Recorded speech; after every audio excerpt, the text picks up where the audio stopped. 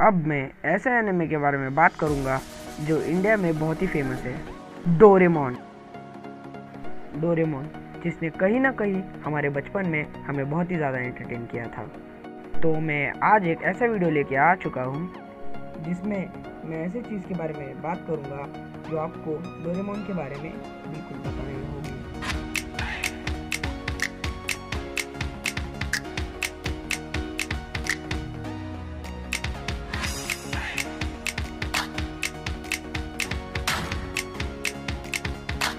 Doraemon को create किया था एक जापान के फ़ेमस मांगा राइटर उनका नाम फूजिको फूजियो है।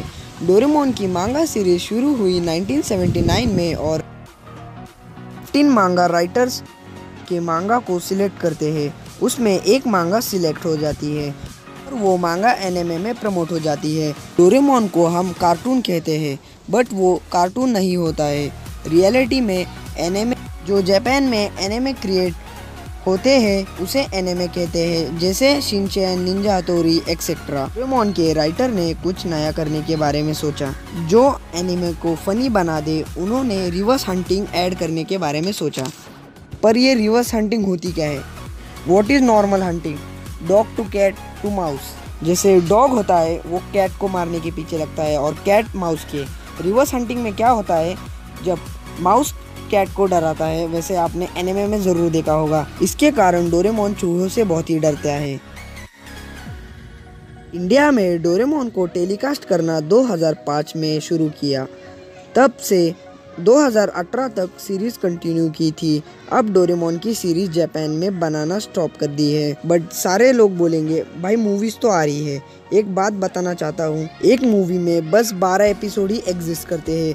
इसलिए मूवी से कंपनी को लॉस नहीं होता। मूवी बनाना इजी भी है और ज़्यादा टीआरपी भी अर्न कर सकते हैं।